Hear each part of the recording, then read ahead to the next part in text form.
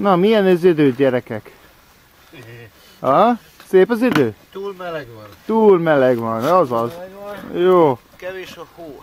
kevés a hó. Szeretnénk még esőt is, Aha, és ma még nem volt jégeső sem. hát, Szóval azt gondolom, hogy egy kicsit puha az időjárás. hát igen. Túl puha. Igen, nekünk bizony.